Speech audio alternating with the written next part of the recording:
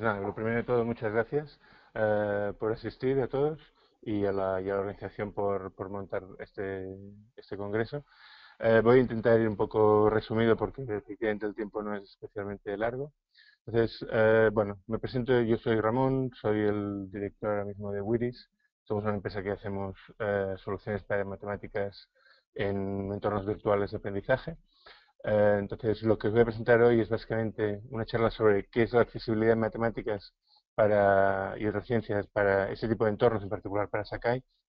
Pero no os voy a hacer una presentación de nuestros productos, aunque obviamente nosotros lo que hacemos pensamos que está bien y por tanto voy a, voy a intentar entrar por ahí un poco. ¿vale? Entonces, eh, ¿qué es la accesibilidad? Bueno, la accesibilidad es obviamente la facilidad, facilitar la, la interacción entre entre usuario y máquina. Y normalmente se habla de accesibilidad en general, pero obviamente se habla, se habla especialmente de accesibilidad cuando el que está en el proceso es alguien con dificultades de aprendizaje o de, o de, o de movilidad o de visión o de, o de lo que sea. ¿no? normalmente lo que más abunda en general son las eh, dificultades de aprendizaje, aunque normalmente la accesibilidad en, tal como se entiende en la literatura, no trata demasiado estas. Se tratan más las deficiencias visuales, eh, completas o parciales. Em, digamos que la mayor parte de gente tiene más deficiencias parciales, yo que sé, pues a lo mejor están viendo, eh, pueden centrar la imagen en un 5% del campo de visión y por lo tanto tienen una visión muy reducida. Eh, hay gente con visión, con falta de visión total. Bueno, hay, hay muchos grados de, deficiencia visual. La deficiencia auditiva obviamente es una discapacidad, pero en nuestro, en nuestro contexto no importa demasiado para nada.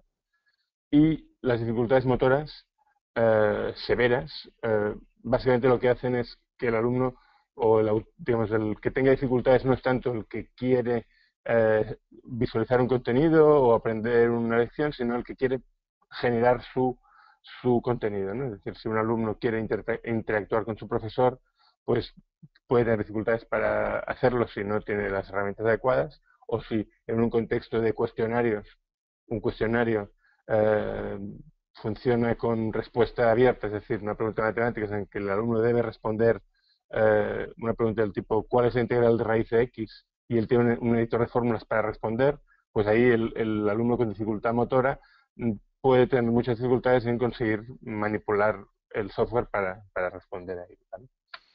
Entonces, eh, bueno, ya lo he ido diciendo un poco, pero ¿a quién afecta este, este asunto de la accesibilidad? Pues básicamente a los, eh, a los creadores de contenidos en el sentido, bueno, lo hemos separado de, del concepto profesor y alumno, pero bueno, digamos, tanto el profesor como el alumno puede ser un creador de contenidos en el sentido de que si tú estás en un foro, pues mientras tú estás creando una, una tu intervención en el foro, eres un, un creador de contenidos, ¿vale? Obviamente, eh, también está el papel más de consumidor del contenido, que es el que normalmente tenemos más pensado para el estudiante, para el profesor, ¿no?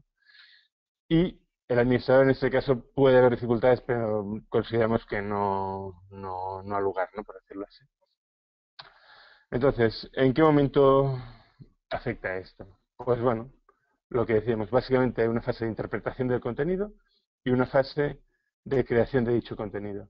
Entonces, por creación no nos vamos a quedar solo en esa fase de, eh, mm, bueno, crear la fórmula o crear un, texto para que luego los alumnos lean la teoría, sino que en, el, proceso de comunicación actual en que el aprendizaje ocurre mucho peer-to-peer, donde hay mucha interacción entre alumnos, la creación de contenido eh, en foros o, yo te envío una actividad, tú me la respondes, la, trabajamos juntos, es, es parte esencial del aprendizaje por lo que se considera que, bueno, para, para mí eso es creación de, contenidos. ¿okay? Eh, si alguien tiene alguna pregunta, yo mm, intento responder en tiempo real porque eh, si el chat está ahí, si queréis poner algo, no por mí no hay ningún problema. ¿Vale? Eh, vale. Entonces, bueno, estamos, estamos aquí con esas, esas dos fases, ¿no? Vale. Voy a entrar primero con la parte de creación de contenidos porque me parece más interesante y más difícil, eh, aunque simplemente son retos distintos. ¿Vale? En, el momento de, la creación de contenidos, el, básicamente lo que, lo que se está ocurriendo es que la persona debe hacer dos cosas para crear una fórmula. Moverse dentro de la interfaz de usuario para manipularla y, convertir esa, fórmula en su cabeza en una fórmula en el sistema. Y por otro lado, puede haber mecanismos de ayuda a ese proceso en el que, por ejemplo, eh, tenga una previsualización del, de la fórmula que está creando para que así sepa si ese proceso que está haciendo, digamos con cierta dificultad, porque no es lo mismo ir viéndola, eh, la fórmula a, aparecer, que saber que la está haciendo, pues esa previsualización le ayude a saber que está manipulando bien la, herramienta. ¿vale? Y ahí hay una nube, un nubarrón, que por eso le he puesto un rayo, que es la tecnología, que al final tal como estamos, la tecnología es muy importante y, es una barrera muy fuerte para la creación de contenido. ¿Ok? Entonces, eh, lo que yo he hecho aquí es poner las tres tecnologías que, a día de hoy tienen los distintos interfaces de usuario. Entonces, yo no estaba seguro si iba a tener un, mecanismo de voto. Eh, veo que no lo tengo. Eh, entonces, bueno, si si voy a hacer una estimación sobre quién tiene qué, digamos que por defecto Sakai uh, últimamente lleva un, un, editor de fórmulas que está basado en Flash. Uh, antiguamente creo que llevaba uno que está basado en, en Applet de Java o no sé si llevaba ninguno, pero digamos que hay mucha gente por ahí uh, utilizando algunos editores de fórmulas que son un Applet de Java y finalmente hay soluciones JavaScript. ¿Vale? Entonces, en lo que se refiere al, movimiento dentro de la interfaz, el resumen que podríamos decir es, si tú tienes una interfaz con Flash, y ese puede ser el caso de mucha gente que tenga Sakai el, el por defecto, eh, tener buen movimiento a través de la interfaz de usuario para usuarios que tienen dificultades de visión y de movimiento y todo esto, es muy difícil. No he puesto imposible porque me parecía digamos, quizá alguien me podría decir, no, no, se puede hacer con X y X y X, pero en general se considera un, asunto muy, muy difícil. Eh, con los applets de Java es un asunto difícil, posible, pero difícil, seriamente difícil. Y yo diría que con tecnología JavaScript, que es la que utilizamos nosotros, eh, es solo posible. Es decir, hacer una interfaz con tecnología JavaScript solo hace que sea posible eh, que la fórmula sea accesible y que el proceso sea accesible. Luego hay que trabajar bastante rato más para conseguir que realmente lo sea. ¿Vale? Entonces, eh, lo que iba a hacer aquí es, tenía un poco de duda si iba a tener buena conexión a Internet o no. Eh, voy, a, voy a abrir nuestras páginas de demo y os enseño un poco cómo, cómo, cómo lo tenemos. Bueno, tampoco hace falta enseñaros nuestro correo. Eh, vale. Bueno, pues ahora accedo. Bueno, willis.com es, es la, web de, de la empresa. Eh, vamos a ir ahí al editor. Y vamos a ver la demo. Vale, entonces ahora os explico un poco cuál es la, experiencia de usuario para, para la creación de contenidos. Eh, aquí es un poco difícil porque, claro, efectivamente os vais a tener que creer lo que yo os diga. Pero principalmente la necesidad que tiene alguien que tiene dificultad de visión o de movimiento es que para moverse alrededor de las diferentes eh, pestañas de la aplicación y una vez dentro de la pestaña poder hacer clic en los distintos espacios, necesita poder hacer eso con el, eh, con el tabulador. Entonces, si vosotros entráis a, a Editor y con alguien que esté acostumbrado a activar ese modo tabulador para moverse y tal, veréis que, que nuestra interfaz es, es, en ese sentido accesible. Antes que esta versión nosotros utilizamos una app de Java y ahí conseguimos que fuera bastante accesible, pero eh, era bastante difícil, muy costoso, eh, bueno, toda una epopeya conseguir que aquello funcionara y realmente, bueno, difícil, ¿vale? Entonces, además, a día de hoy hay otra componente, ¿no? una cosa es que fuera posible hacerlo más o menos accesible en un ordenador normal y corriente. Si además eh, quieres dar soporte a, iPads, pues el Flash ya no cuenta, el Flash no funciona en iPad, pues Flash fuera. Simplemente es imposible que alguien utilice el editor de fórmulas si está en Flash. Eh, si está en una app de Java en Android, podría ir, eh, pero bueno, digamos que a día de hoy las soluciones con Applet de Java a veces son incluso difíciles de utilizar en un ordenador normal corriente, porque digamos que alrededor de octubre del año pasado hubo cierta batalla respecto a la seguridad que ofrecían los, los applets Java y eso ha hecho que muchos navegadores consideren applet Java casi algo terrible y tienes que apretar 20 botones para aceptar que eso es eh, no es pirata ni nada antes de que, de que todo eso ocurra, ¿vale? Entonces, a día de hoy, digamos, la, accesibilidad que pasa primero por que sea visible y que, y que luego lo puedas manipular con el tabulador y todo eso, eh, nosotros creemos que pasa básicamente porque tengas una solución basada en JavaScript. Si no, es, es, yo creo que es prácticamente imposible y en algunos casos totalmente imposible por razones tecnológicas que, que el usuario pueda acceder a ello. Entonces, en el entorno de accesibilidad, los iPads han ganado mucho peso porque llevan por defecto ciertas herramientas de verbalización de textos que los usuarios con dificultades de accesibilidad valoran mucho. Entonces, ahí hay, hay, una, hay una parte que, que, puede valorar mucho todo el soporte de verbalización de texto que, tiene, que tienen los iPads. Entonces, vuelvo un poco a la, a la presentación. Vale. Eh, bueno, perdón. os voy a enseñar un poco, os enseño luego cómo funciona todo esto. Vale, entonces, eh, ¿cómo, hemos conseguido crear una fórmula gracias, a poder movernos con el tabulador alrededor de la, de la, de la expresión matemática. Esa era la parte difícil.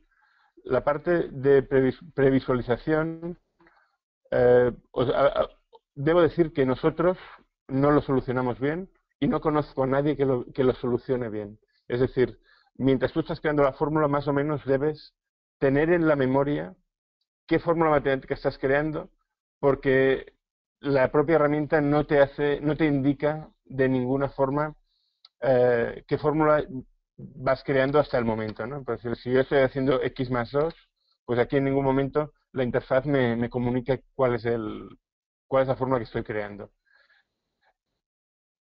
Eh, os enseño ahora un momento, por ejemplo, lo que tenemos que aquí, por ejemplo, al, crear la fórmula un medio, eh, pues tenemos un texto accesible que te permite decir, esto es la fórmula un medio, un medio más x, pues eh, tenemos un texto que describe la fórmula como un medio más x, o un medio más, más raíz de x, un medio más raíz cuadrada de x. Bueno, Digamos que si estas dos piezas que tenemos por separado se juntan, tendríais la, solución accesible perfecta. ¿vale? Eh, la otra parte del proceso de creación, que en el caso de gente con dificultades de accesibilidad es muy importante, es la selección de subexpresiones. Es decir, eh, cuando la forma se vuelve un poco grande, puede ser muy difícil saber dónde estás, saber dónde te encuentras. Entonces, poder hacer, mover el cursor y de repente seleccionar un trozo y decir, y este trozo eh, verbalízamelo o dime qué es, esa es una parte importante porque el, ciego, que es el que estamos pensando más, digamos, el ciego total, que tiene mucha dificultad para saber qué está creando, eh, debe tener en su cabeza totalmente no solo qué fórmula quiere crear, sino dónde tiene el cursor para poder crear la fórmula de, de esa forma. ¿no? Entonces, Aquí, digamos, a nosotros nos, falta integrar todas nuestras herramientas para tener un 10 sobre 10, pero yo creo que ahora mismo tenemos un 9 sobre 10 o un 9,5 sobre 10, eh, siendo la media un, un, 4 de las herramientas de edición de fórmula. nosotros tenemos mucha, mucho interés en este asunto, en particular porque en Estados Unidos eh, es un tema muy, muy importante. Eh, vuelvo a la presentación.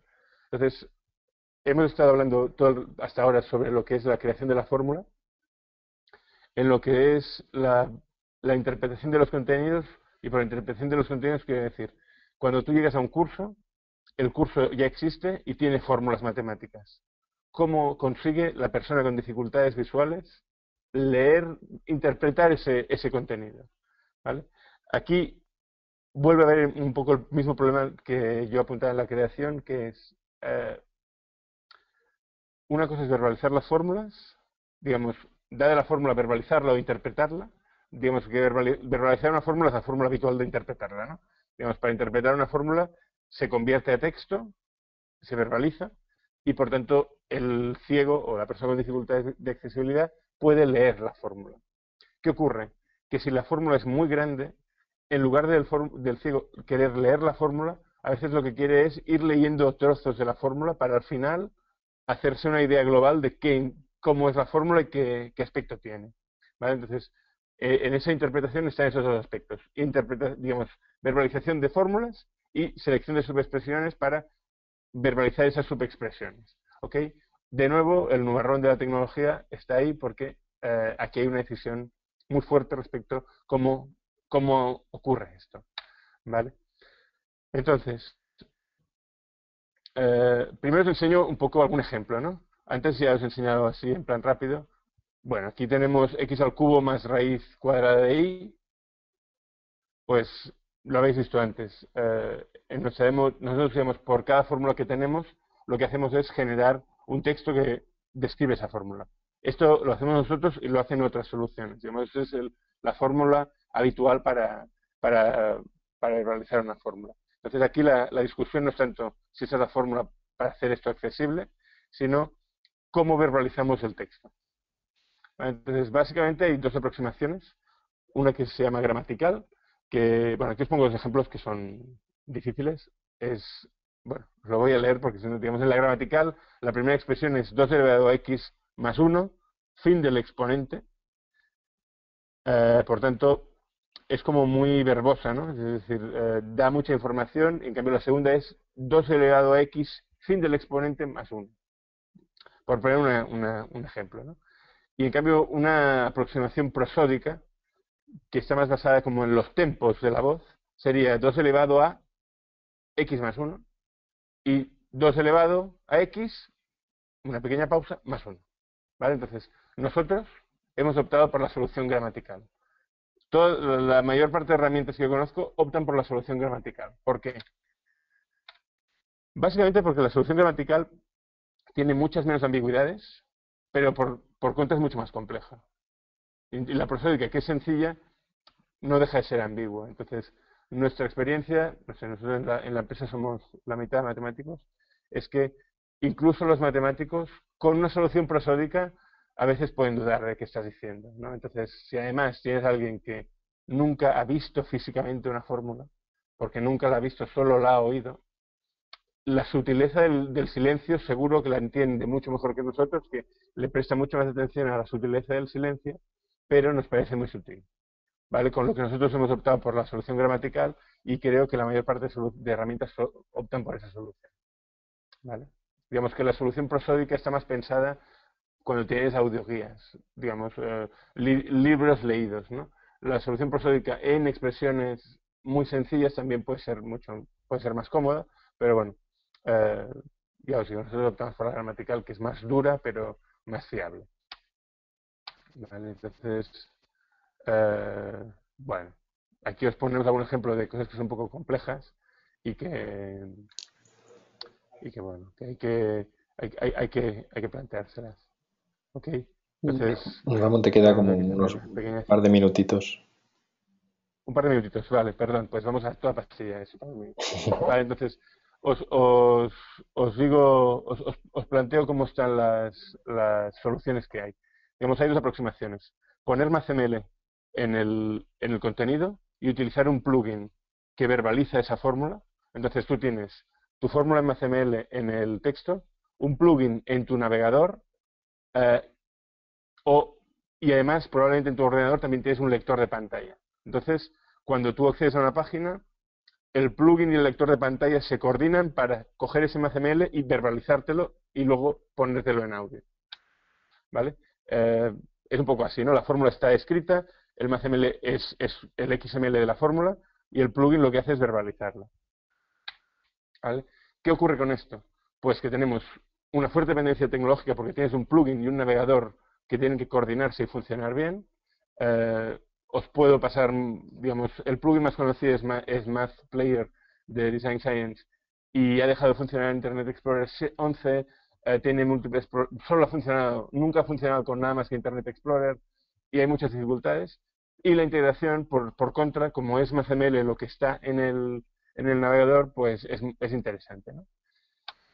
Eh, nuestra solución es distinta, es una, solución a, partir de imágenes. Entonces, nosotros lo que hacemos es, metemos una imagen en el, en el contenido que incluye como texto alternativo esa verbalización que hemos visto, y entonces, sin nada más que un lector de pantalla que cualquier persona con dificultades de accesibilidad tiene instalado y operativo, como el lector de pantalla siempre sabe leer imágenes y su texto alternativo, de repente la accesibilidad es un hecho. ¿vale? Sobre todo, lo, muy lo más importante de todo es que el lector de pantalla no interpreta la fórmula matemática como una imagen especial, simplemente es una imagen con un texto alternativo y por tanto la lee. Y eso hace que eh, incluso en un iPad eso vaya a funcionar. Entonces aquí os pongo un ejemplillo, pues ahí, la veis, ¿no? La, imagen y, cómo, cómo, se incluye el texto alternativo.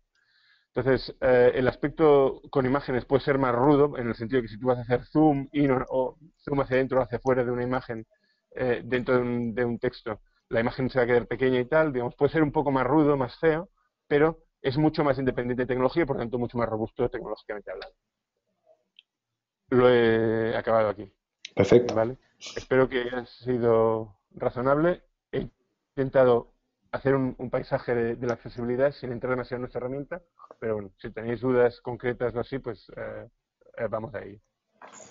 Bien, pues en efecto, si hay preguntas, las, las podéis poner en, el panel de preguntas o escribirlas en el foro. Yo la verdad es que, Ramón, cada vez que veo una presentación tuya, me, encanta. las cosas que hacéis me parecen espectaculares.